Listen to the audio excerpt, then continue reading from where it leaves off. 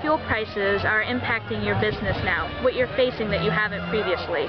We're facing a big crisis because the fuel prices are at uh, four dollars and some cents a gallon, where the revenue on these truckers, because I'm selling heavy-duty truck parts, they have not been able to increase their pricing on the freight, and so it's putting a damper on everything that they do. And they are not buying the parts or letting things go longer before they're replacing items, so it has uh, cut business down, you know, drastically, maybe 15% or so. Mike, then, what's the next step for you? Oh, just keep going after the business that we have and uh, keep people happy. And uh, eventually, they're still going to have to replace their parts. Whether they've been they've been holding off and trying to get a little farther ahead, and with the fuel prices, they haven't been replacing parts. So eventually, things are going to be a war where they have to come back and buy it, and they can't afford a truck right now, so they're going to fix their old trucks.